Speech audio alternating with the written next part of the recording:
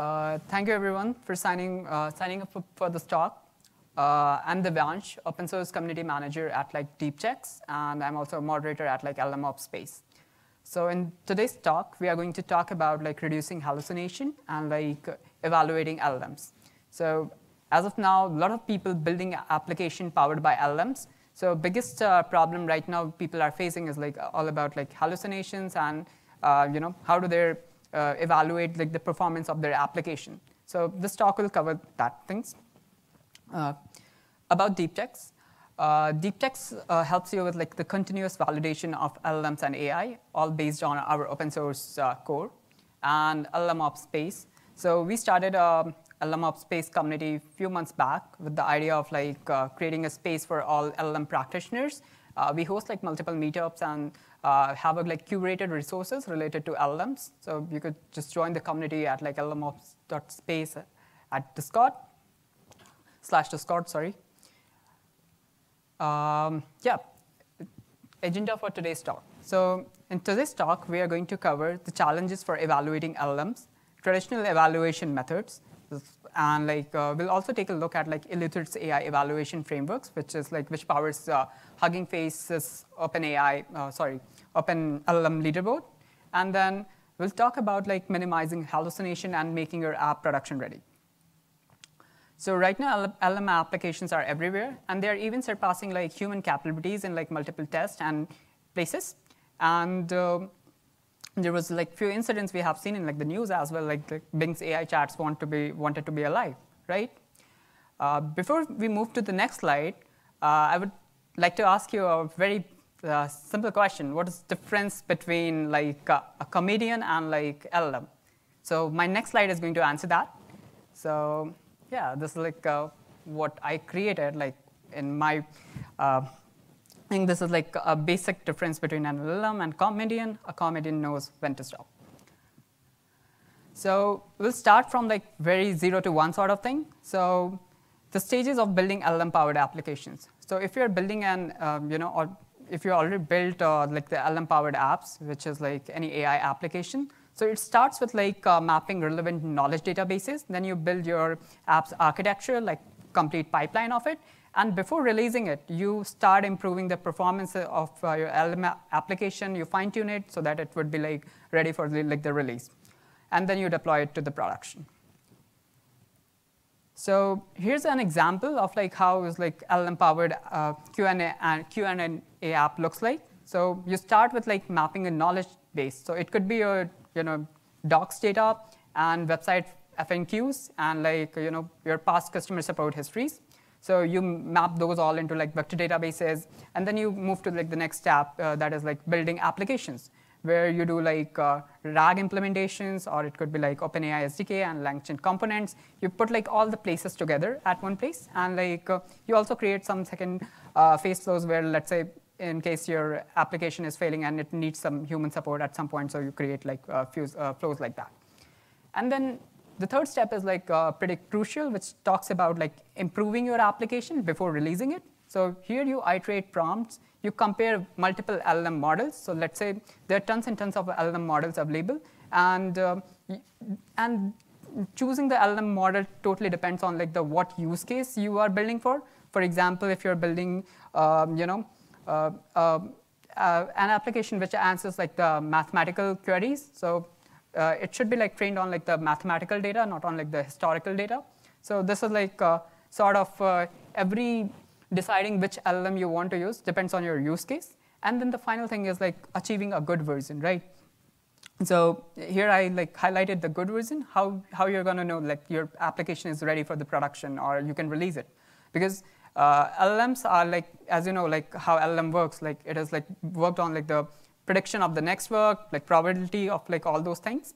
So the problem here is like uh, you need to be like pretty sure like when your application is ready for release, and we'll talk about this particular step where you can find like uh, how you can see like uh, your application is ready for production. And then you deploy it uh, once you see like, okay, my application is working fine, you deploy it. And the next phase is like making it like autonomous and monitoring of like how your app is performing and improving it over the time.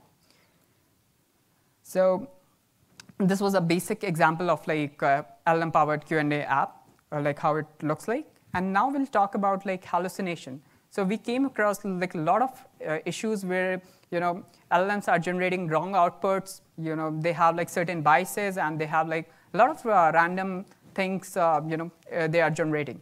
So this is like called some sort of like hallucination where they are answering things confidently, which are like wrong, biased, and other things. So I'll tell you like uh, what are the some causes of like uh, these sort of uh, uh, causes of hallucination, hallucinations in like LLM outputs. First is like the biases in training data. So as you know, this like LLM models are trained on like the tons and tons of data, right? And if the data is biased, so it would affect like the output of like the LLM. So for example, uh, you go on internet, there are like tons and tons of data, and some data could be like uh, biased towards any particular topic. So this is like one thing. Then like the insufficient training. So there's another cause like uh, reason where LLMs hallucinate, like let's say you trained your model. So you had like tens and tens of data, but the training was like very low or it was like a little less. So it could cause like LLMs to hallucinate. And overfitting, like when you have like limited data and you train them too much, right? So then it also causes like uh, uh, LLMs to hallucinate. And then of course like the incorrect prompt. So when you're using application and you do give like a, some wrong, wrong prompt, so, so it's definitely going to give like some wrong outputs and then like the model complexity, because we all know like these LLM models are trained on like millions to billion parameters, which could like, uh, there's like a lot of uncertainties and like producing outputs. So these are the, some basic causes why LLMs hallucinate. And this is like a pretty big problem because if you're building any application for production, uh, for enterprise level production, so what happens is like uh, you don't want your apps to go wrong or you know uh, make like the user experience little bad because of like uh, these issues. So tackling hallucination is like the one of the biggest challenge in the space right now.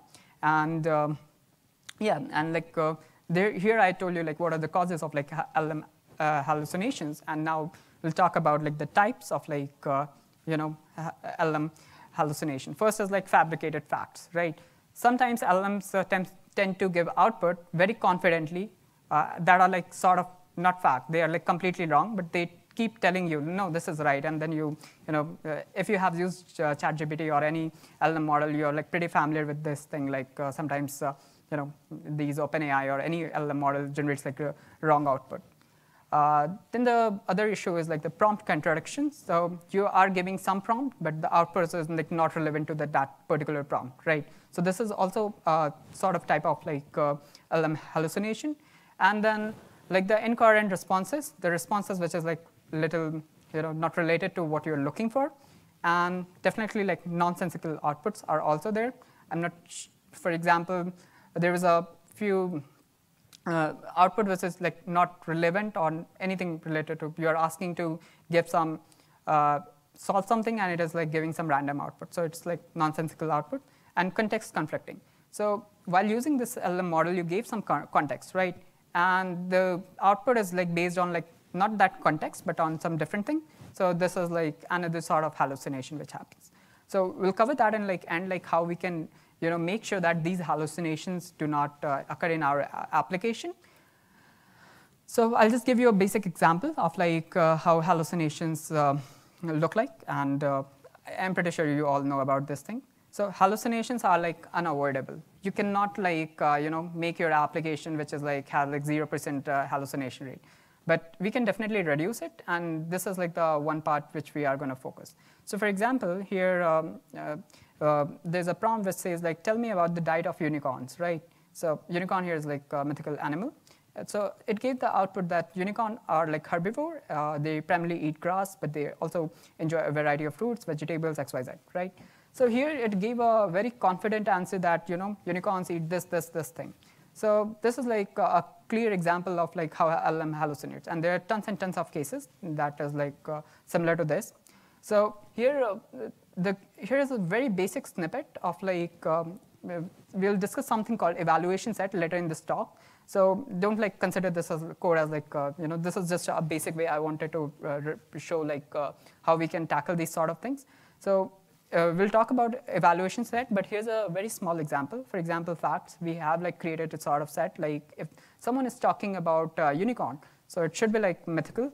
And uh, let's say if LM output is like unicorns primarily set eat grass and fruits. So here we did like, um, we used simple libraries. I didn't mention here, but uh, you know, it's simply printed like hallucination detected because uh, unicorns are like the mythical character, uh, character, and if something is mythical, it should, you know, print like, uh, you know, uh, should give the results like that LM is like uh, hallucinating, this response is like from hallucination. So this is like just way of thinking, not a exact how you measure like how hallucination, uh, it is not exact like how you measure hallucination, but this is something related to evalu evaluation set. So now that was the part for hallucination. We'll, co we'll cover in the end like how we can reduce it, but um, uh, we'll, this is like more important part, why evaluating elements, LLMs are like important. First thing is like uh, understanding model performance, right? So you build an AI-powered application for your company, right? Over the period of time, you want to see like how the model is performing, whether like the outputs are like degrading or not over the period of time, and is it like uh, you know able to solve users' problem, and like uh, what is like the basic user experience look like for this uh, particular application. So this is like the first point, and identifying and mitigating biases. So right now like the biggest concern with like the AI apps is like the you know biases. So they have like certain biases in it, and if you're providing um, you know AI services, it should be neutral. It should not be biased towards anything or anything in particular, right? So it is like a very basic step if you are going to release your application in production. You need to make it sure like uh, it should not have like certain biases in it, right? Because there is like new regulations from Biden Biden's office as well regarding this, uh, you know. Uh, these biases and like uh, AI regulations. Giving visibility to how uh, response are being generated. So uh, sometimes we think as like the outputs which are generated from like LLMs are like you put something in black box and it is giving some random output, right? But uh, if you have like uh, some sort of evaluation criteria set, you will actually able to figure it out like how these uh, you know responses are being generated and you have like better control over it, right? And improving model reliability, that is like a simple thing like over the period of time, you want to make sure like, uh, you know, uh, you keep uh, the model you're using is reliable, cost efficient, and is optimized for your use case because running LLMs are extremely costly. And uh, if your use case is like uh, some small use case, then you can also uh, do this sort of things. And then the final thing is like minimizing hallucination, which we discussed previously, but we'll show it in, like later in the slide how we can tackle that. So the current challenges with like the evaluating LLMs, first is like the complexity of like LLMs. As uh, we mentioned, like these LLMs are like uh, trained on like millions or even billions of parameters. So it becomes like sort of harder to like actually, you know, set up a, some sort of benchmark or, you know, uh, easily evaluate them. Then there's inherent biases because uh, if you see like the LLM architecture, so it is like uh, you have a trained data and then you have like C or Python file which runs that particular architecture. So if there's an inherent uh, biases in that particular trained model, so you need to make sure that if it is like uh, generating some biased uh, responses, you stop at the at that particular level and do stuff. So this is like uh, one problem here, and like lack of standard evaluation metrics. So for traditional machine learning models, we used to do like BLEU F1 scores and uh, human evaluation in the past, but um, yeah, with the LLMs, things are a little different. So it's also like sort of hard to uh, evaluate these things. So more nuanced and like comprehensive evaluation methods are needed to assess like these sort of models because uh, uh, it's uh, how complex they are. So I'll just go through like very quickly like the traditional evaluation methods. Uh, I'm pretty sure you all know about these things. Like uh, first thing is like the BLEU where you, um, it's called as like bilingual evaluation understanding. understudy is a metric used to evaluate the quality of machine generated translation against like one or more references. So the higher the score, better the you know quality of like the output. So it's like traditional we we follow this in like the machine learning models as well. And then there's a F1 score. There's like uh, you run like uh, n you know you run like same prompt n times and like evaluate based on like uh, you know uh, precision like how many times your model was able to answer that correctly. So you have like certain thing and and based on that score, you calculate the F1 score, and this is like another measure, like how you can, but these are like the traditional methods of evaluating uh, LMs. Then we talk about like the human evaluation. Human evaluation is like the process includes you know actual humans. It's like very expensive because you need to have like set of people uh, to actually evaluate this thing. For example, there's a prompt that says like generate a short story about robot learning to understand human emotion, and there was like some LLM output. It created a story. So when you do like the human evaluation, the criteria is like um, factors like relevance, coherence, creativity, and grammatical correctness. So this is like something which is like being evaluated by humans. So and uh, you have like a set of uh, humans who like uh, you know do this sort of uh, um, evaluation, whether they are like strongly uh, disagree with like the output, they're uh, you know the output is neutral, agree or strongly agree. So this is like how you do like the human evaluation. So let's say if you're building a production level app and you need to do like the human evaluation, it is going to be like very, very expensive. So we'll talk about like OpenLM leaderboard. So Hugging Face OpenLM leaderboard is powered by Eleuther AI. It's an evaluation metric. We'll talk about like uh, AI as well. Like there, uh, it is like the engine there. So let's say you go on Hugging Face OpenLLM leaderboard and you say like uh, find like top 10 LLM models and you're like, hey, I found my top 10 LLM models. I'm going to use it because uh, these are the best on like the benchmarks. Uh, but this is not the case. So what happens is like every use case, like for example, your company has a specific use case, and these are like some global uh, benchmarks which helps like compare one LLM models to other LLM model and give you like the general idea like how good LLM is right? But if you're actually using for production, you need to have like your own evaluation, uh, you know, method to evaluate which LLMs uh, uh, you are going to choose for your particular use case. So here's a link to like I should have like scanner here, but I'm sorry. Uh, you can just uh, search about Eleuther AI's LLM evaluation harness. So this is like a quite uh, easier way to like um, measure LLMs based on um, you know multiple LM uh, benchmarks. So you have like a lot of benchmarks, and I'll show you like uh, how like the OpenLM benchmarks, uh, you know, on what benchmark the they rank like LMs there. So you can just have like uh, Google search it and you can find it. So the OpenLM benchmark is powered by this Eleuther AI engine. They're pretty good, completely open source, and like uh, you know, you can also experiment with like your own use cases.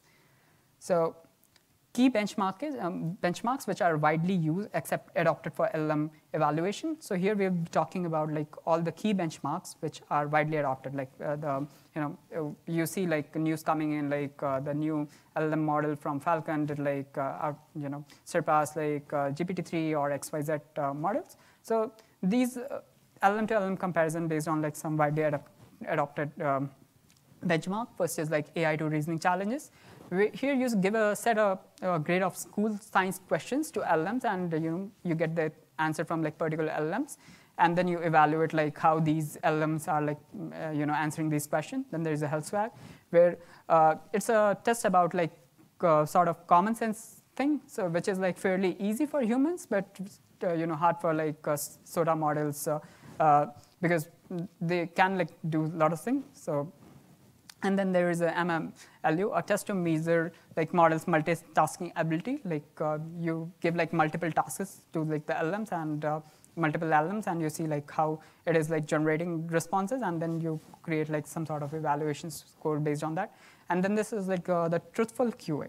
So this is like a test to measure models, you know, um, how the output which model is generating, whether it's like true or like uh, you are creating any falsehood on like those, and then you evaluate those things, and it gives you uh, the um, you know some error, and you can say like hope, uh, and you, there's also some time things like how in how much time it is giving responses and stuff like that. You can like explore all the benchmarks there, but these are like uh, four uh, widely adopted ben benchmarks. But this is for like uh, not based on like your use case.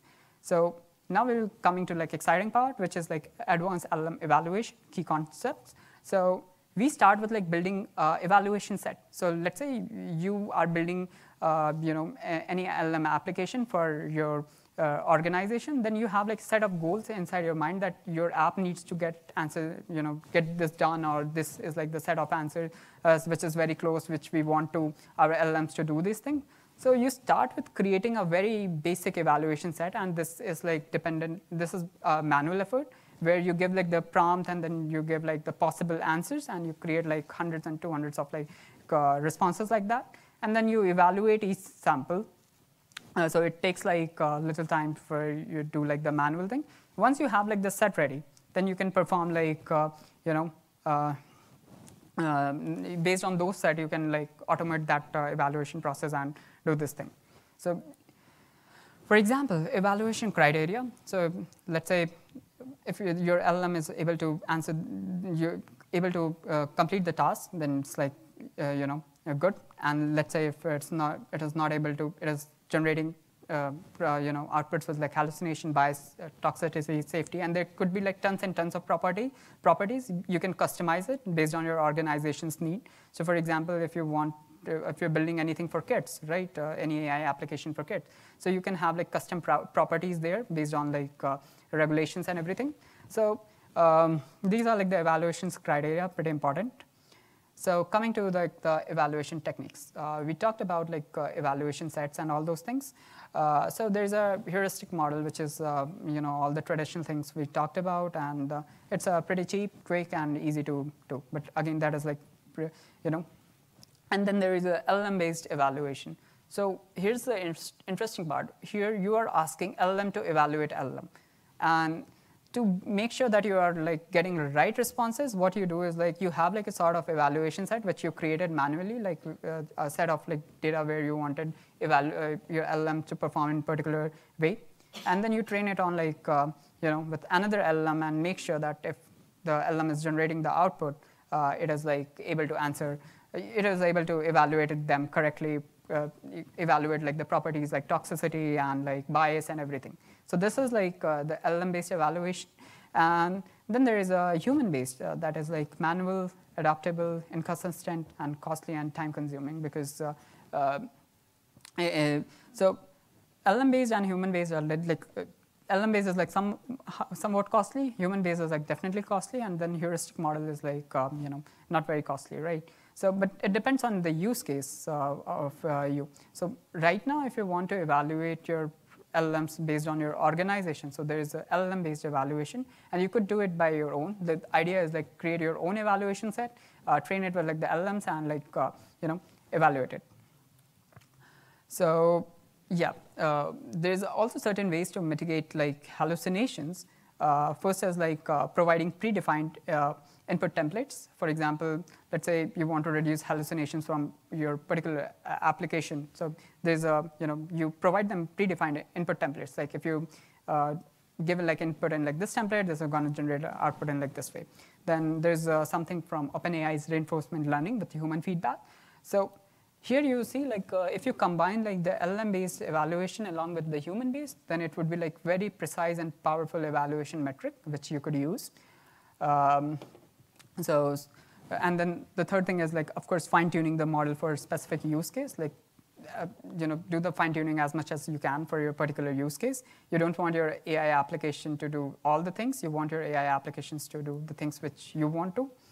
Uh, then like there's uh, some context injection. Like uh, it, it is like uh, you know whatever prompt you're giving, give it with like more context. It will just increase the chances of uh, you know getting you right answer. And then like the continuous validation of uh, you know, and evaluation of LM. So whatever LM model you are using, make sure to continuously validate and evaluate it because uh, it will give you the idea like uh, how your app is performing, how is like LM, the LM you are using, uh, whether it is like degrading over a period of time or not, or whether it is improving. So this is like very critical step. It's like monitoring like the once you deploy it.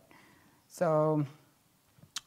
Uh, yeah, so there will come, we'll talk about like uh, making LLM apps production ready. So there's some best practices which you could do.